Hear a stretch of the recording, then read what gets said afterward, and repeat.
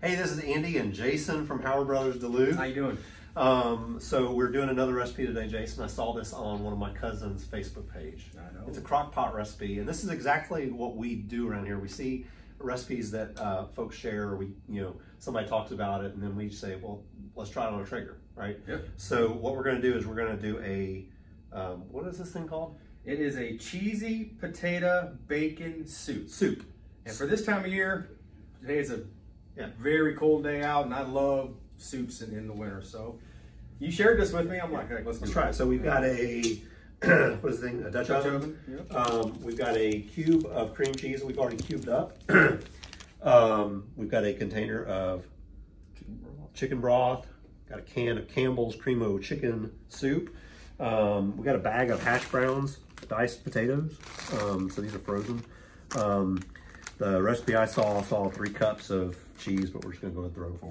you know, and then we got never have too cheesy. that's right. Um, half cup of bacon. Oh, yeah, and the bouillon cube, which is weird because you know we got all this chicken stock, Yeah. and so okay, so we never tried this before. We're going to try it today. So here we go. So this might end up being a chicken potato bacon soup. Yes. But it's supposed to be a potato bacon soup. Yeah. So first thing, Jason, we're going to add the the whole container of chicken stock, right? Chicken stock. Yeah. So let you Mhm. add that in there.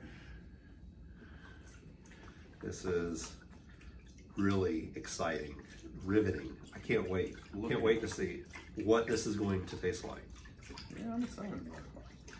All right, you already cubed up the, um, there it goes to the last drop. Oh, uh, next is going to be the cream o chicken soup. That is a big old spatula that we've got here for this, but And it's getting chickeny. it is chickeny, isn't it? Yes, it is. Bacon, cheesy, hash brown, but it didn't actually say chicken in the name, did it? No, it didn't. Um, uh, And one of the coolest things we liked about it, or at least personally I did, is basically you don't really have to cook anything. Like the hash brown's already frozen, ready to go. You buy the bacon bits, real bacon bits, already ready to go. Um, just talk about a really quick and easy soup to make, and uh, sounds like it's gonna taste real good. I'm Traeger's already easy, right? So Yeah, that's uh, enough. true. Um, and um, I guess I could use this whisk that we've got here on the counter. Um, the the Traeger's already easy, but then just you know as far as prep goes, there's just nothing involved in this. Yeah. So um, all right, I'll let you whisk the um, cream cheese in it.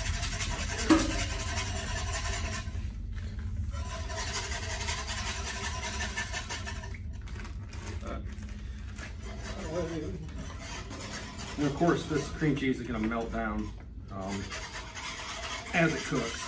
Um, also, what, uh, the recipe you actually got was they do this in a crock pot, um, but we absolutely love cooking on the Traeger out here. So any chance we can, we do it. Um, and the Traeger should do it nice. So it's not Riley. You can come over and look at this. It's not it's not finished, obviously, but we're going to continue to stir this when we put it on the grill. There's the bouillon cube. Okay, next with the hash browns. Just throw those on top. That's simple. Yeah, and it, it does say that once we get this going, as you can see, the cream cheese was still kind of cubed and the uh, the uh, bouillon cube. So as it's cooking periodically, we're gonna come out and just stir it up, make sure it gets nice, and then out comes the good stuff. Cheddar, lots of cheese.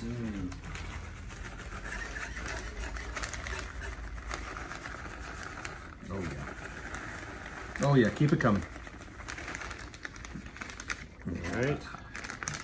Now, will we cover this when we cook it on our Traeger? I'm gonna. I don't know.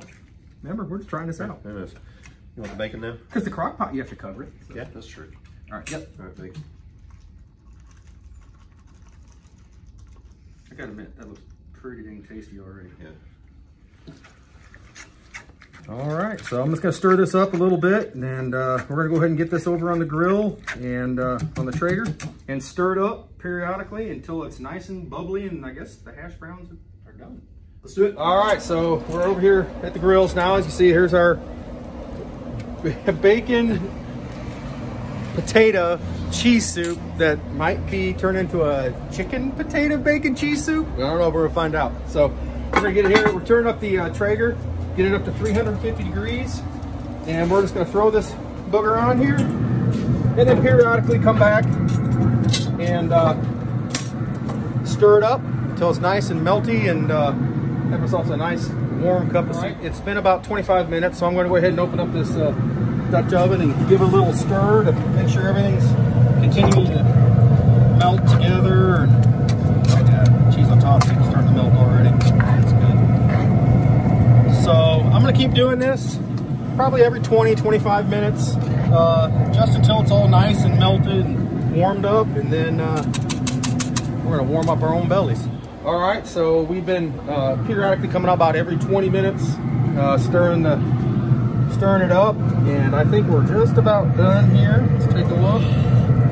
Oh my gosh, look at that bubbling. I think we are ready to try this dish out. I'm ready to eat it. So we're gonna go eat it, and then we'll let you know what we think of it. Here we go. All right. All right, let's eat it, Jason. Smells smells incredible. Hot. Good. Ooh, hot. The potatoes are cooked. Perfect. I mean, Perfect. so, yeah. Cheesy. The bacon, you can taste the bacon. Yeah. Wow. Tell you what, Very, very easy. Okay, so Riley, very easy, very simple. You could do other things to this. So you could like, if you put some sour cream in it or some chives, Chives, yeah. uh, make like a baked potato soup. I mean, but you could you could change out the bacon and put meat in there, yeah, right? chopped Just- up ham or yeah, pork yeah, or whatever. So, turkey for that matter. yeah, You really could. But I just can't get over very easy. how easy this was to make. I mean, literally, we had to cook nothing ahead of time. Just the sheer simplicity of alone is a, a, a five out of five stars to make. Yep. And then uh, Easy, and you can feed a lot of people for a very small amount of, you know, food. Didn't cost much. Yeah, So, not at all. Awesome. All right, try something on a Traeger today. Thanks a lot.